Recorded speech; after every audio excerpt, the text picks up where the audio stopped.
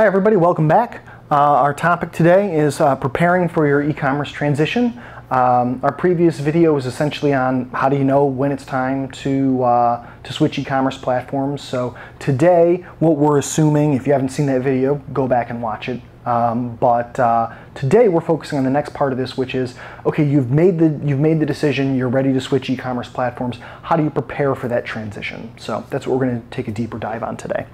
Uh, what I essentially want to focus on here is not um, is not the developers side of this project. Developers have all kinds of things that they need to do for them to be prepared for an e-commerce project, um, but that's the developer's job. That's you're essentially hiring them so that they can do those things for you, and uh, you ought to be able to essentially assume your developer's competence that they can uh, develop a platform that's going to meet your needs. Um, if, if you can't, you shouldn't be working with them. So let's assume for a moment that they're going to develop a solid platform for you.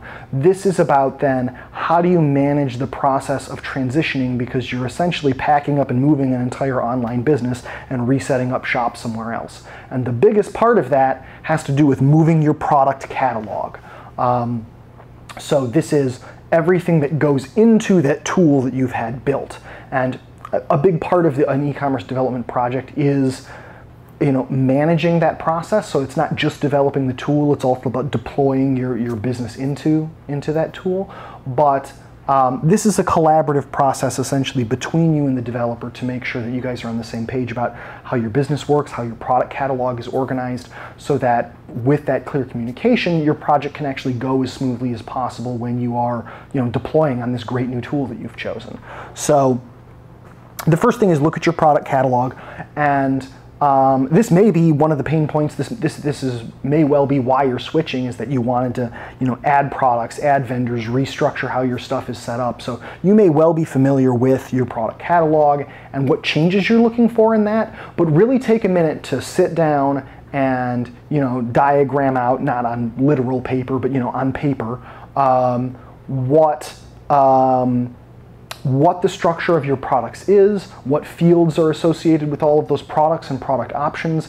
Make sure you understand everything that makes up that structure. And if it's going to change when you switch sites, make sure you understand what it's changing to.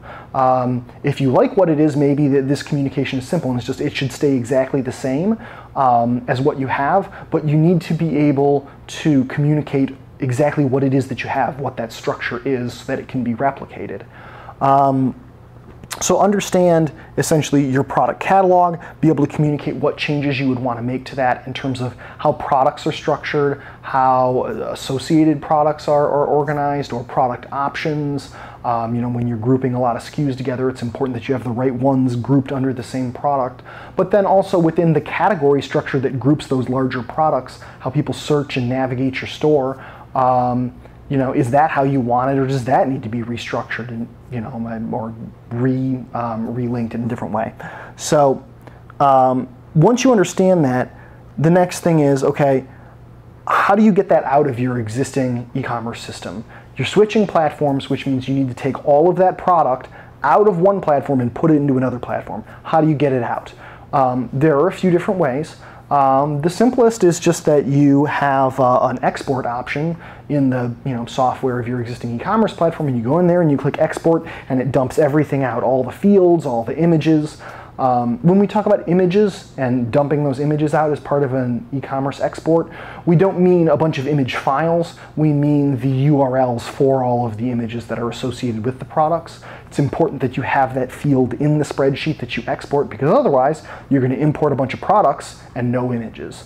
Um, so make sure that the image URLs are part of any export that you're taking. Make sure you get your images you know, moved over along with everything else. Um, that's how they're going to get onto your new site. So, um, so having an export function is great. Um, other options that are out there, if they've got an API that a developer can tap into and work with, um, that's a great way to access the site information. But it, it may also be that either with the developer that you were with previously or the platform that you chose, these options may just not be visible. And in that case, you really need to get in touch with uh, essentially your, your customer service rep with your existing platform, let them know what you need, and figure out a plan with them for how you're going to get that information um, from that platform. And hopefully you have somebody who is going to be cooperative and work with you because at the end of the day, there isn't any reason why they can't dump that database out for you. Just bear in mind that at the point where you're going to a person and saying, I need you to give me this, um, you need to communicate clearly, they need to be cooperative. Um, you're bringing a whole human element there into um, getting a handle on your product data. So assuming that process goes smoothly, you get an export of all your products. It includes everything that you have. The next thing is importing products. And importing products, um, we're just essentially talking about taking that export and pulling it into your new site. The uh, benefit that we have to work with here is that uh, you get to choose what your new platform is. That's the whole point of the project is that you've chosen something and just make sure that what you've chosen includes an import option that's going to work for, for your products. And again, the reason we take a look at your product catalog and make sure we've diagrammed out how we want all of that stuff arranged is that you want to make sure before you've committed to a platform that it's going to support the structure and organization of products that you want when you import everything and make that switch. So doing your homework back here is going to save you a lot of work, you know, up at the up at the import import phase of things where you're, where you're pulling things in. Uh, finally then, adding new product. This is often one of the reasons people are switching e-commerce uh, platforms in the first place is they want um, to expand their product offering. So just understand that if a part of your transition is also adding new product lines, new vendors to your site, that when you got this export from your existing site, it's all one cohesive thing because you had it already up on a live site. When you go to bring in a third-party source of product, um, they could give you a spreadsheet to import. You know, here's here's 10,000 new SKUs to add to your site, but um, they're not going to be structured the same way that your existing products are structured most likely. And that means that you're going to need some assistance essentially reorganizing again that structure to match how you want your product catalog organized so that when you import it, it's essentially been reformatted to fit the way your site works and is structured. So think about that when you're thinking about adding new products and bear in mind when you mapped out all of those fields that when you ask your new vendor for, okay, I want to get all these new products on my site and they send you that, that export, check those columns and make sure that all of the fields that you need are there. And that if they're not there, that you have a way to, to add them, hopefully, if it's, if it's something as simple as a yes, no, and the answer is, oh, for, for all this vendors, we just need to add a yes column, that's great. If it's, oh, we need images for all of these products, and that image URL column is missing from this spreadsheet, your products aren't going to have any images. So think about that when you're, when you're um, planning on adding new product to your site, and really get all of this together um, before you begin the process of migrating because once you begin that migration now you've got to do it all on the fly because you're you're you know you're essentially trying to do it you know midstream and that's that's not the best way usually to have a stress-free project so something to think about. Uh, another side point I wanted to make, um, going back to exporting products. Um, products are not the only thing you're going to need to export from your site. Um, you also need to think about your users um, and their information and um, all of your order information. So uh, if you want to move all those users over, you also need to be able to export those things out and import them.